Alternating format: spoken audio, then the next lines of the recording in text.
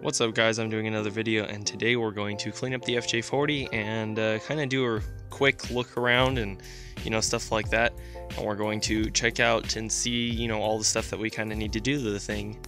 And uh, yeah and we'll, we'll do those things in another video but today's just kind of checking it over cleaning it up and you know seeing what needs to be done. So uh, now I'm gonna start it which I think I found the key to actually starting it. And uh, we'll get it in the driveway so we can wash it. Okay, so I think I found the key to starting this. One, two, three, four pumps of gas. Put the key in, pull the choke out a little. Yep, that's the key. Found it.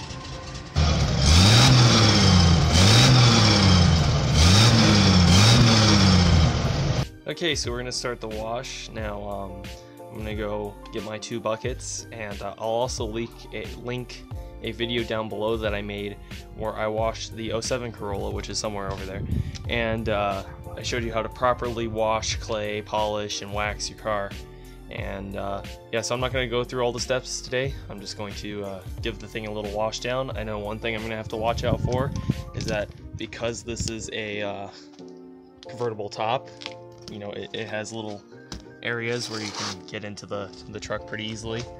And uh, you know water can uh, get through like in the, the door seams and stuff. You know being a convertible top it doesn't it's not water tight. So we're gonna have to be a little careful washing but it shouldn't be any big deal. So anyways guys let's get started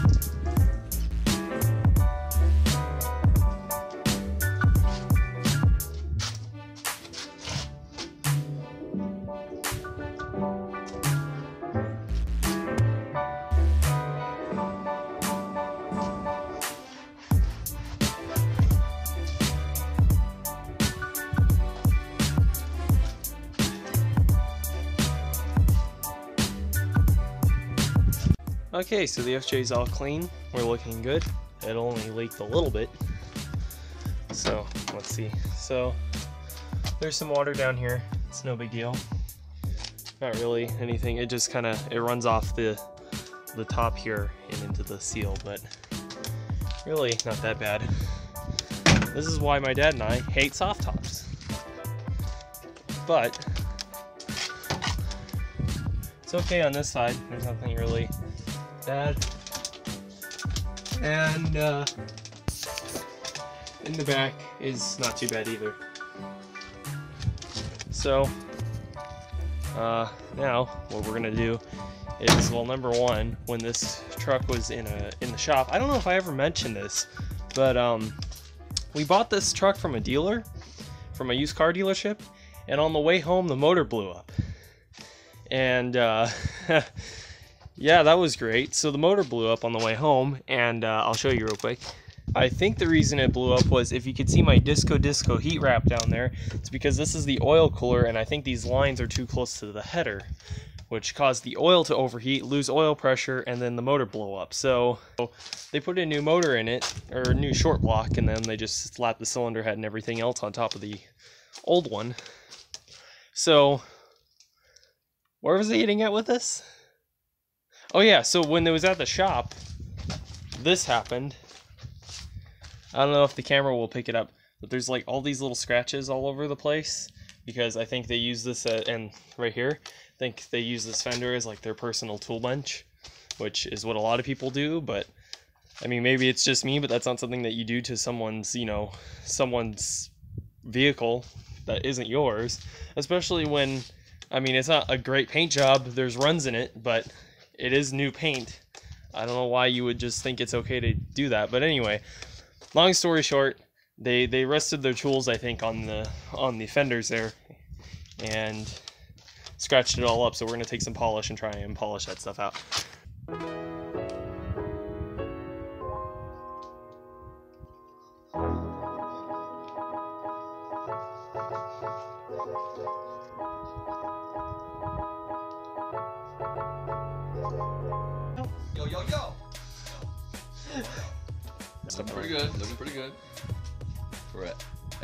aftermarket weird paint job. Yep, that's what I was telling him is that the paint isn't great, but there's all these scratches in the fender right here from like the mechanics using it as like their personal tool bench or whatever. Bad paint is better than no paint. Yeah, I mean it's it's terrible paint, like there's runs in it and stuff, but it looks good. Like when it's driving by, you're like, oh, that's a nice truck. You know, there's like runs right here, but it's not that bad. It's okay. You like the truck though? Yes. This is something that he's wanted for several years now. It might have some runs, some drips, but buying it was no error. Eh, okay. that was that was good actually. What you doing, boy? What are you doing, Shadow? Okay, anyway. Okay, so we polished that little mark out right there next to the logo, and also these scratches are all nice and polished out. There's like there's a couple little marks here, but they're not black with dirt anymore, so you can't really tell. And uh, it looks good, so now we're going to clean the tires, and then I might pull the valve cover off and paint the valve cover. What do you think, Shadow? You're gonna run away? Okay, bye. He was checking out the FJ. He likes it, I think.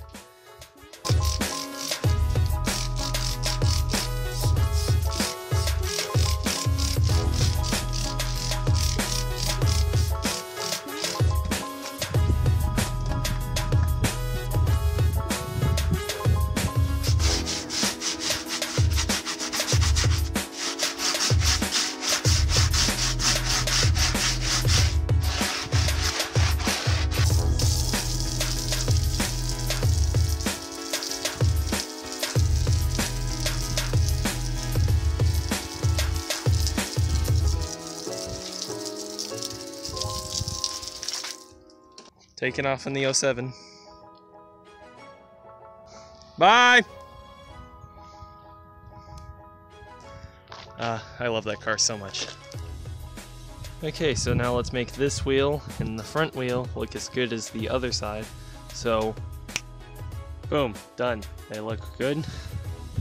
Both the front and the back there. I said front, front and back. Wow, okay. I know what I'm talking about. Okay, so anyway, the front and the back tire look good, and they all look nice now. So, next thing we have to do is we're going to clean up the interior a little bit.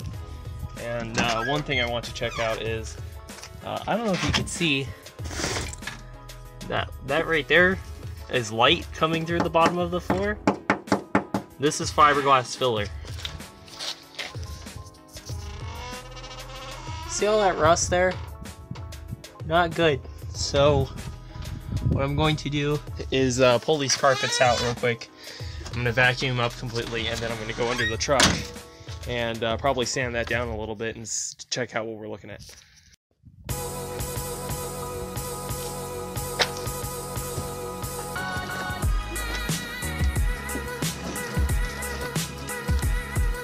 Hey, this is fantastic. So, I don't know if you can see, that's uh, fiberglass also, which uh, I'm not sure if it's supposed to be, but I don't think it is. And uh, you can see that this is very rusted, so we're gonna take some sandpaper and uh, we're gonna fix this rust a little bit here.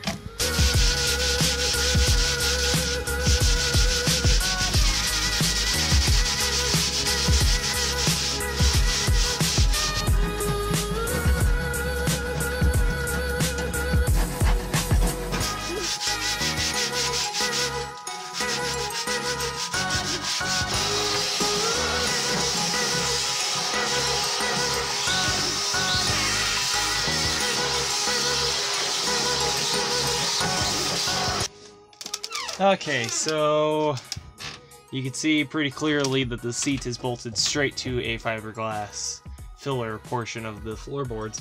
So that means this entire thing from like, that's metal, but from here all the way to like right here is going to need to be cut out and re have uh, new floor pans put in. But for right now, I'm going to try and protect it, protect the metal, and uh, we're going to spray paint some stuff. But let me sand under the trunk real quick.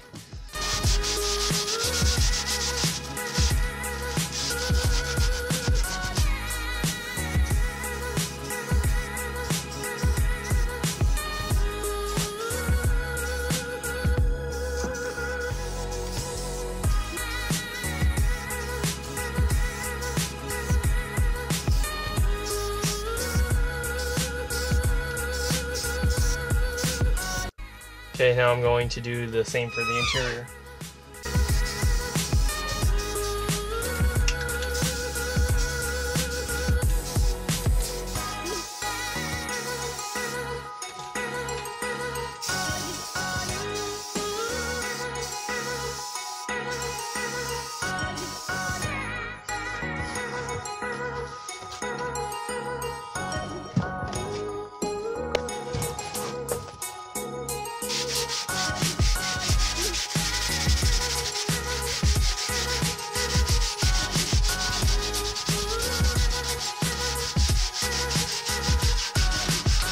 Okay, so now we're gonna do the same for this side, which also has fiberglass.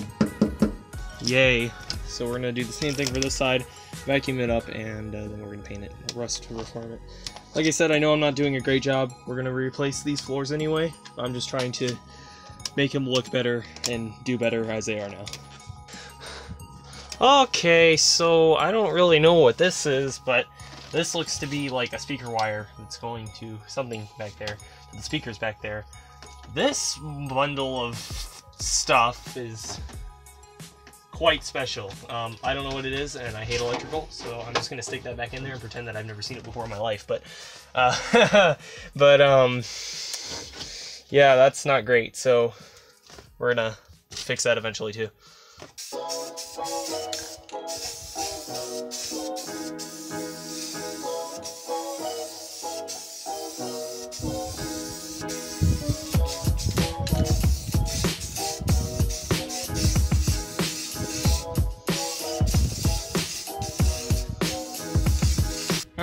We just wait for that to dry and uh, wait for the interior to uh, gas out and then we'll uh, paint it and then call it good. And then we can uh, start working on other stuff. Okay, well, eh, it looks good. You can't really tell that uh, this is, you know, a different color from the rest of the car, this rust reformer, and the rest of the floor. I think it looks good. So I'm just going to uh, put this little thing right back in there which uh, really needs a new cap. But for now, I guess that'll just do it, because that's how it was. So let me vacuum this carpet and put it in there.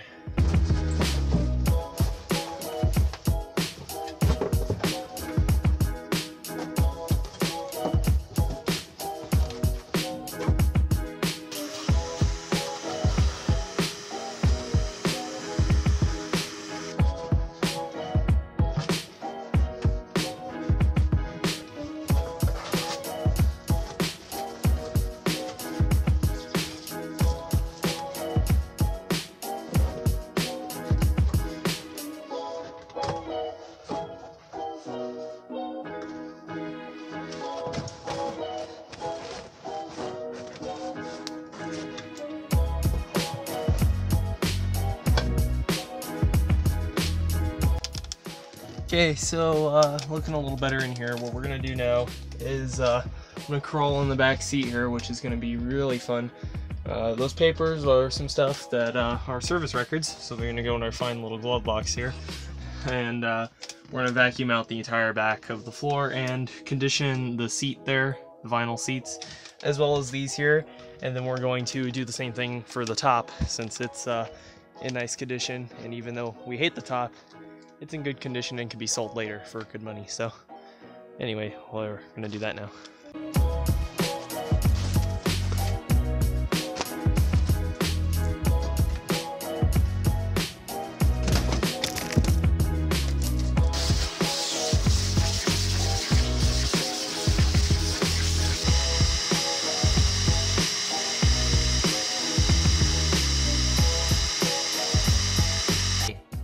Alright, so I was going to uh, paint the engine.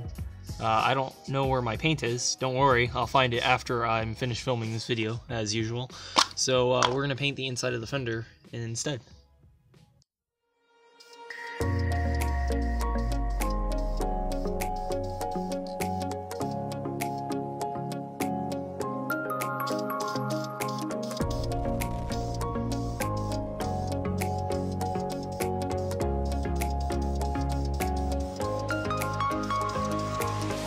Okay, so we painted the leaf springs and stuff, and uh, the inside of the fenders looks really nice. So now we're just got to do the same to the other side.